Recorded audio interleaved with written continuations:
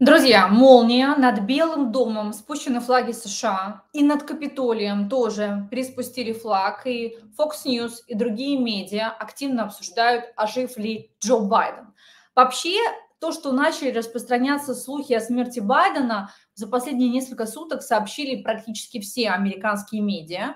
Это почему-то становится циркулирующим о том, что сейчас в Америке происходят слухи о том, что Джо Байден, возможно, мертв. Источником этих слухов является то, что, в принципе, Байден не появлялся на публике достаточно долгое время, не сделал заявление о том, что он уходит. Все это было подано в письменном виде. И, конечно же, это все породило огромнейшие конспирологические слухи о его состоянии здоровья, которые вынуждены были оправдывать или нет. Личный врач Джо Байдена, Белый дом. Но сейчас мы с вами обсудим всю эту конспирологию, всю информацию, которую удалось нам по крупицам собрать, все эксклюзивные фото, видео, документы, комментарии. Прошу вас, друзья, поставьте лайк этому видео. Я Дарья Счастливая. Напишите в комментариях, откуда вы нас смотрите. И что вы думаете об этой конспирологии Fox News, о том, что Джо Байден, возможно, не жив. Напишите это внизу. Лайк, комментарий, подписка приветствуется. И мы начинаем. Друзья, апогеем всего происходящего – это сегодняшняя утренняя, утренняя новость, друзья. Это американские медиа. Breaking flags at Capitol are at half mast. Joe Biden has passed away. Друзья, это сегодня распространялось в publicity и в медиа. Вот эти два флага. Над Капитолием приспустили флаг, из-за чего начали распространяться слухи о смерти Байдена – но на самом деле и не только над Капитолием, но и над Белым э, домом спущены флаги США, судя по онлайн-трансляции с камер наблюдения. Что происходит? Президент США не появлялся на публике после заявления о выходе из предвыборной гонки, поэтому американцы стали требовать, и это не шутки, доказательства жизни хозяина Белого дома. Об этом заявили ведущие телеканала Fox News. Друзья, об этом они заявили. И, значит, э, отметила ведущая Дана Перина, за последнюю неделю нет ни одного фото или видео, которые доказывали бы, что Байден по-прежнему жив. Я надеюсь, с ним все в порядке, но можно простить людей за то, что они задаются таким вопросом. Покажите доказательства жизни, пожалуйста, сказала она в эфире американского телевидения.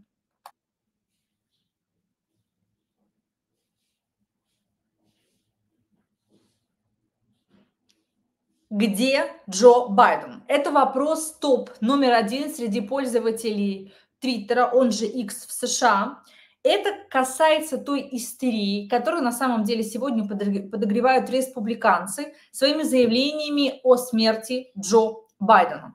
Друзья, напишите в комментариях, что вы об этом думаете, потому что это очень интересно. Более того, сейчас вам сделаю скриншот, который я подготовила требует к концу понедельника, а сегодня уже вторник, э, доказательств того, что президент США Байден жив. Такое заявление сделала конгрессвумен от республиканцев Роберт. Тем временем в Белом доме на фоне спекуляции о смерти Байдена заявили, что президент США в, виртуальном формате, в виртуальном формате проводил встречи в понедельник с чиновниками по нацбезопасности США. Вот эти заявления Лорен Беберт, а, эти угрозы, чтобы они появили, чтобы появились доказательства жизни Джо Байдена. Давайте посмотрим эти заявления просто сейчас, друзья. Друзья, вот эти заявления. Я требую доказательства жизни от Джо Байдена сегодня до 5 часов вечера. Ему нужно стать перед камерой и обсудить, знает ли он, что он выбыл из президентской гонки. Значит, то, что вы сейчас делаете, то, что вы скрываете, это абсолютно невозможно, заявляет Лорен Боберт. То есть до, до 17.00. Далее, опять-таки, я требую доказательств того, что Джо Байден жив. Это все на сегодняшний момент организовывают и лоббируют республиканцы. Опять же, Дана Перина, Fox News были одни из первых, кто распустили слухи о том, что по сути, Джо Байден, возможно, сейчас в очень плохом состоянии здоровья. Давайте вспомним, что 21 июля Байден сделал официальное заявление о выходе из президентской гонки. Сделал он это не публично, не, не медийно, не на камеру. Это все было в текстовом варианте. В своем обращении он призвал американцев поддержать вице-президента Камалу Харрис в качестве кандидата от Демократической партии. Ранее все сообщали о том, что Байден заболел коронавирусом. И вот это именно то, что он заболел коронавирусом, все аналитики, в том числе Сергей Жирнов, говорил, что это есть первый мостик, первый шажочек к тому, чтобы объявить, что Байден снимается с президентской гонки. Сделать это красиво.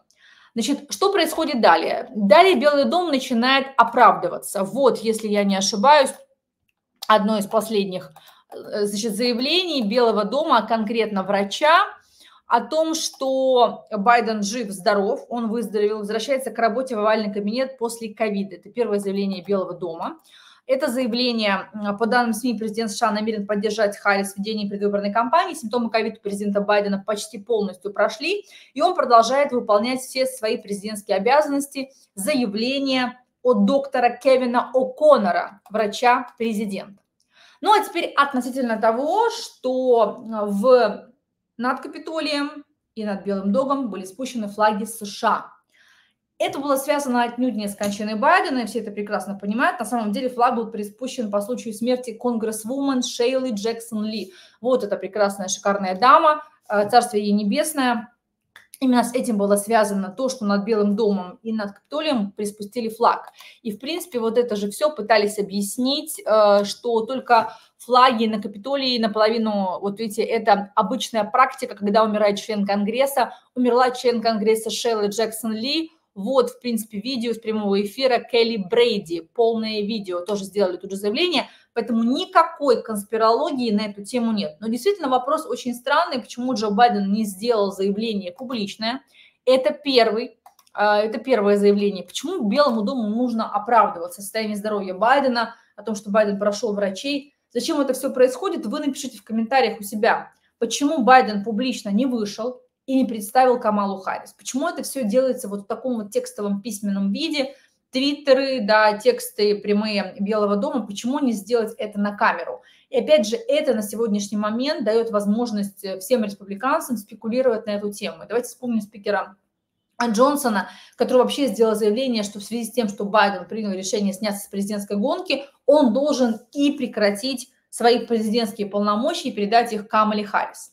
На самом деле, опять же, Белый дом сделал тоже скоропостижное заявление о том, что он, э, Байден не будет снимать свои президентские полномочия, передавать их кому-либо, и будет до конца президентом, ну, то есть до его президентского срока в должности президента Соединенных Штатов Америки. Ну, а Камала Харрис начинает свой президентскую гонку борьбы с Трампом. Тут очень много интересных заявлений уже есть я бы хотела, чтобы мы на этом э, с вами остановились. О, еще один важный момент, друзья. Байден передал свои полномочия по закону поддержки э, Украины главам Минфина и Госдепа США. Закон, ранее принятый в Штатах, э, предусматривает возможность конфисковать замороженные российские активы на восстановление Украины. И Байден сделал это. Ну а теперь, друзья, про, прошу, прошу вас написать в комментариях, как, что вы думаете о конспирологии по поводу состояния здоровья Джо Байдена кто бенефициар, зачем это все происходит, и самое главное, есть ли в этой конспирологии некое рациональное зерно. Здесь очень интересно услышать ваше мнение.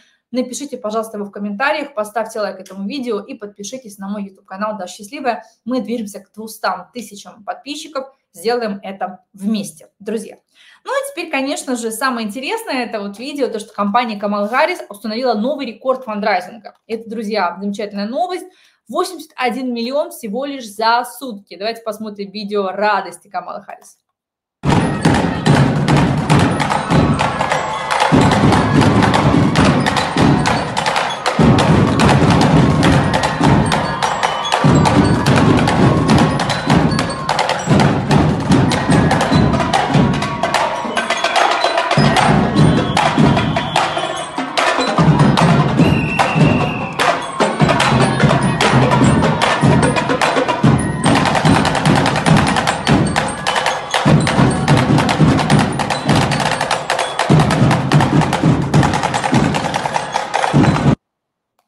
Яркая, харизматичная женщина с шикарным смехом, шикарной улыбкой собрала всего лишь за сутки, друзья, 81 миллион долларов у доноров и спонсоров. Это новый рекорд фандрайзинга. И безусловно, что вы знаете о том, что Камала Харрис будет иметь доступ также к 50 миллионному счету, который люди э, донатили, спонсоры на Джо Байден. То есть у нее будет огромный, обильный ресурс для того, чтобы бороться против Дональда Трампа. Ну а Трамп в своей соответствующей хамской манере объявил, что не будет дебатировать с Камалой Харрис. Это заявил писатель Стивен Кинг. Сегодня мы прочитали это все в Европе. Но тут очень важный момент, что многие пишут, что это дезинформация. Пока что вот прямых, в принципе, кроме хамства в адрес Камалы Харрис, заявлений Дональда Трампа нет, но Стивен Кинг сделал такое заявление, что Трамп не будет дебатировать с Камалой Харрис. Конечно же, мое мнение, это ошибка для Трампа, потому что в любом случае он покажет себя слабым, слабаком, это так мягко, интеллигентно выражаясь, наверняка, что Камала Харрис э, будет использовать свой профессиональный бэкграунд для подавления Трампа, как сказал Сергей Жирнов мне в эфире, посмотрите наш э, яркий стрим на моем YouTube-канале вчерашний о том, что, в принципе, чем жестче, агрессивнее, неприятнее, хамовитее будет Дональд Трамп, тем э, выигрышной позиции будет Камала Харрис. Кстати, политтехнологи давали совет Трампу перед выборами, перед э, дебатами с Байденом, чтобы он мало говорил, был немногословен, и, наверное, стратегия Камалы Харрис и Дональда Трампа должна быть на дебатах такой же. Они оба по советам политтехнологов должны будут говорить мало, спокойно, вежливо, интеллигентно, для того, чтобы создать приятное впечатление. Посмотрим, насколько это получится у Трампа, быть вежливым и интеллигентным, потому что Дональд Трамп, знаете, это, как говорится, на контрасте с фразой что э, Камал Харрис собрала рекордные донаты на свою президентскую кампанию, значит, злая и тупая. Именно так Трамп э, описал Камалу Харрис. Есть два слова, чтобы описать Камалу Харрис. Прошу прощения, это цитата. Злая и тупая – это плохое сочетание, сказал Дональд Трамп о своей потенциальной сопернице в президентской гонке в интервью The Post. И это все, что надо знать. Вот, кстати, это интервью, вот эта цитата New York Post.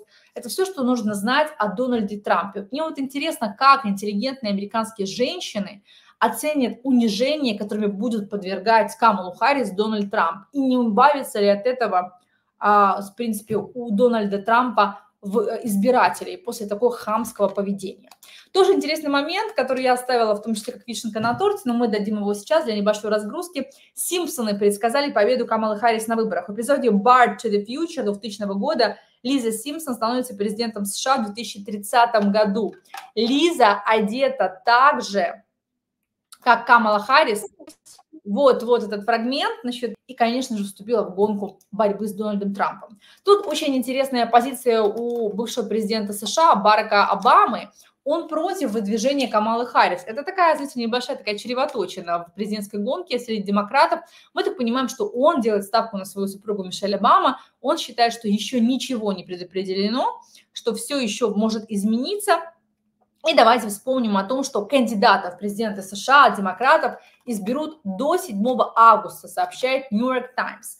По данным СМИ, это произойдет путем онлайн-голосования. К слову, кандидат на должность вице-президента также может быть выдвинут до этой даты. Друзья, вот феноменальная обложка Time. Давайте вспомним, что до, а, точнее, сразу же после дебатов в США вышла обложка Time, которая справа, которая называется «Паника», Байден уходит, ну а сразу после заявления Джо Байдена о том, что он снимается с президентских гонок и рекомендует проголосовать за Камалу Харрис, появилась новая обложка издания Time, когда Камала Харрис уверенно входит в центр, в зал, в освещенное пятно одного из самых известных в мире журналов Time. То есть на сцену. Камала Харрис уверенно входит на сцену.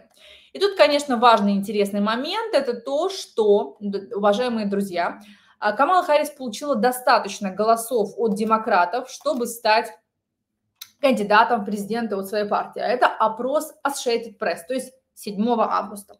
По данным опроса, среди делегатов, запланированного на август партийного съезда, к вечеру 23 июля Харрис имела поддержку 2668 делегатов, хотя для победы в первом туре праймерис вице-президентки хватило бы всего лишь 1976 голосов, а у нее уверенные 2668 делегатов и 81 миллион долларов за первые 24 часа своей кампании. Это новый блестящий рекорд. Деньги пришли от 888 тысяч человек, друзья. Вот это уровень поддержки. Для 60% из которых это вообще было первое пожертвование в избирательном цикле 2024 года. Суть новости не только в крупной сумме, а еще в том, что выдвижение Камалы вызвало большой энтузиазм среди демократов для тех пристрастных, кто убежден, что Камала будет хуже Байдена, в частности, нерешительной и несмышленной во внешней политике, поймите один момент, пишут медиа. Ее советник, кстати, это тоже очень интересно, что меня порадовало, друзья, это тоже такая, знаете, новая изюминка, и тут прошу вашей поддержки, напишите в комментариях, что думаете. Значит, советник Камалы Харрис, в отличие от Салливана, советника э, Джо Байдена, советник по безопасности Филипп Гордон, ястреб, вот мужчина, он справа, с антироссийской и антикитайской позицией. Друзья, с антироссийской и антикитайской. Просто антипод Салливана. И настолько сильно, что такую трудно найти у других. Этот человек, Филипп Гордон, желающий решительности и реального сдерживания и способный это сделать. Он до сих пор сердится и критикует администрацию Обамы, что она, например, не уничтожила осада в Сирии 10 лет назад и не провела красную линию для России. Поэтому как только Харрис победит, он станет советником по нацбезопасности и заменит нерешительного советника Байдена Салливана. И это, друзья, для нас, для Украины большой успех. И э, на самом деле мне кажется, что э, это очень важный момент. Ну а теперь относительно кремлевских болот. Там происходит сейчас, конечно же, вой. Они в шоке от того, что Камала Харрис стала кандидатом в президенты. Они в шоке, что она собрала рекордное количество денег в первые сутки. И они тут же рассказали о том, что она ненормальная, что у нее ненормальный смех. В общем, что она ужасная женщина. Давайте просмотрим фрагмент ролика, где в традиционной пропагандистской пропутинской манере происходит унижение президентов, вице-президентов Соединенных Штатов Америки. Смотрим, друзья. Президент Байден одобрил кандидатуру вице-президента Камалы Харрис быть кандидатом в президенты от демократов в этом году.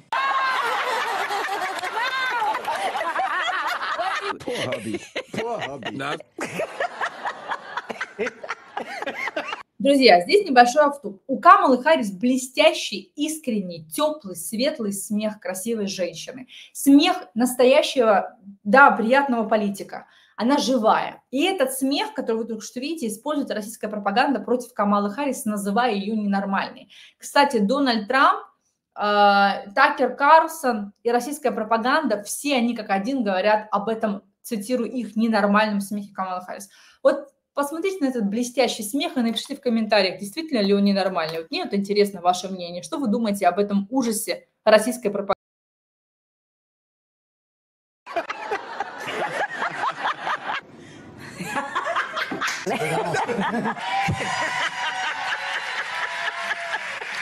Компания «Харрис» набрала обороты еще накануне. Несколько крупных встреч с донорами партии за закрытыми дверьми. Предвыборные митинги. Блеклые, но уже самостоятельные. We all watched. Только вчера мы видели все по телевизору. И это помимо всего остального. Мы что-то знаем и чего-то не знаем на основании того, что мы только что увидели. А если мы чего-то не видели, это не значит, что этого нет. Сейчас американцы ждут, что 81-летний лидер выйдет к телекамерам и сам объяснит им ситуацию. А, вот что э, сказал он про Камалу.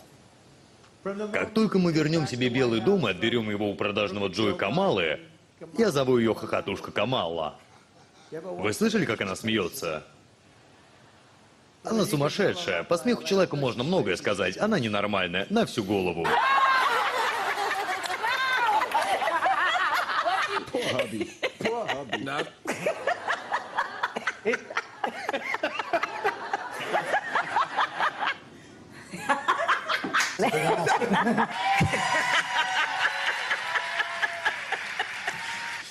Так вот, это веселушка-хохотушка. Но в любом случае мы на дебатах хотя бы увидим знаменитые ораторские приемы Камалы Харрис, которые уже вошли в историю. То, что может быть не отягощено, не отягощено тем, что было. То есть это же главное, чем Камала вошла в историю ораторского искусства. Мы просто обязаны это напомнить. Могу представить, что то, что может быть, не огорчено тем, что было. Понимаешь? Что может быть?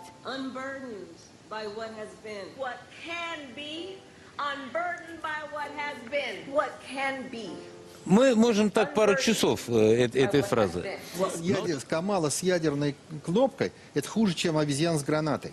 Да, не, да, не бумажка, которую приклеили к экрану, так сказать, по ту сторону. Обратите внимание, опять унижение, опять расизм, опять оскорбление. То есть э, Камала Харрис – это а, значит, обезьяна за гранатой. Вы понимаете, какой то расизм, шовинизм, оскорбление, вообще нацизм Российской Федерации. В принципе, они считают себя самой великой нацией, все остальные убогие, ужасные, обезьяны, значит, и так далее и тому подобное. Вообще, понимаете уровень развития этой страны? Вообще, что нужно сделать с Российской Федерацией, что нужно сделать с этими людьми, которые считают себя выше всех. Вообще, я считаю, что только фрагментация России, ее разделение и полное законсервирование этого государства поможет этой нации в течение десятилетий, варя в собственном соку, искупая свою вину, полностью изолировать их от внешнего мира, разделить и изолировать, потому что иначе они вообще не пройдут никакого абсолютно периода искупления своей вины и осознавания, какой страшной нацией является вот это вот россияне. Но океана в виде заявления Байдена Байденом не писалось. Это знают все. Единственное, о чем сейчас э, гадают, он читал это или не читал. Кстати, дед с утра просыпается, а ему говорят, а ты уже не баллотируешься.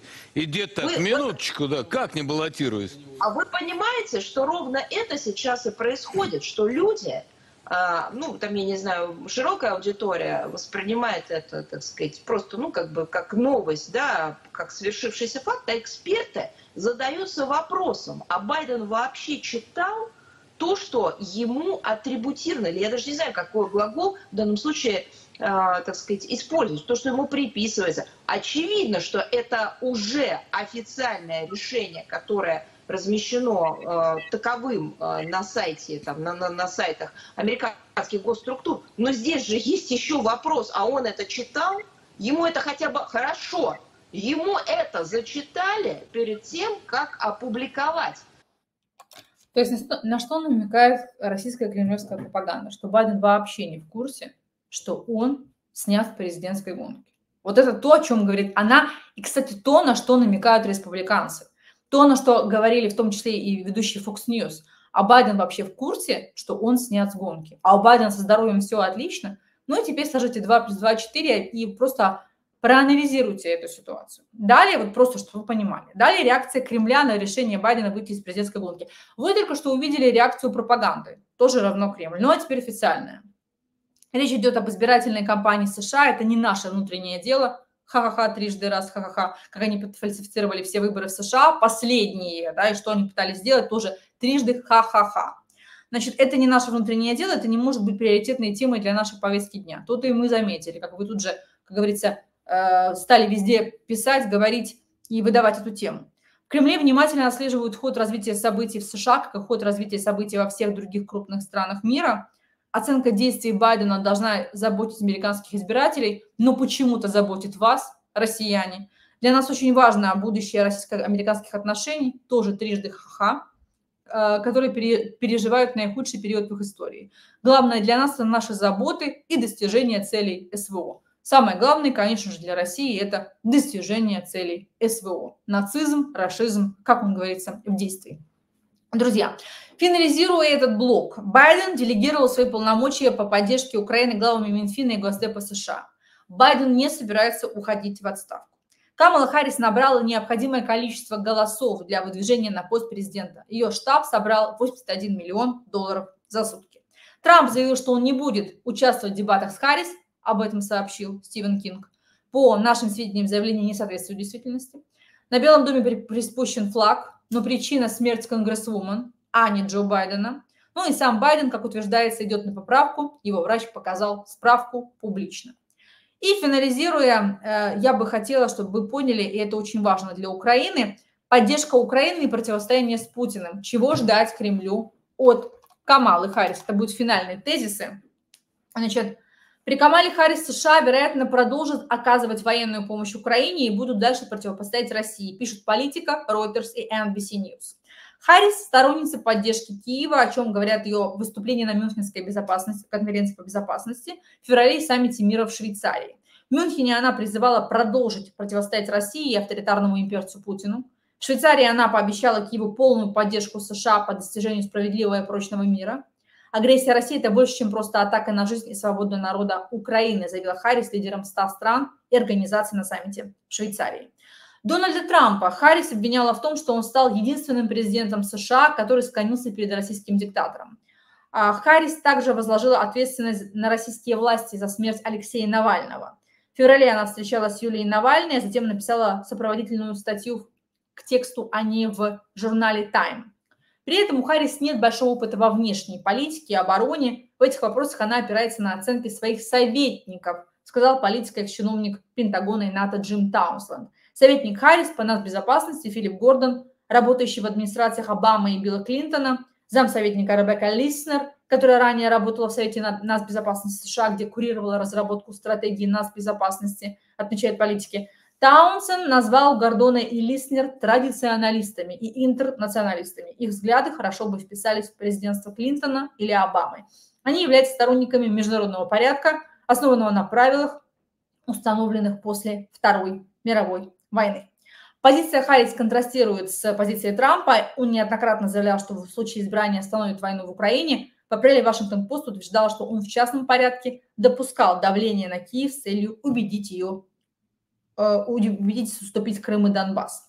Ройтерс писал, что советники просили Трампа э, насчет они представили ему план прекращения войны в Украине. Согласно ему, США сообщает Киеву, что поставки оружия продолжаются только в случае вступления в мирные переговоры. Во время дебатов с Байденом в июне Трамп назвал неприемлемыми условия Путина, которые включают в себя уступку России четырех регионов.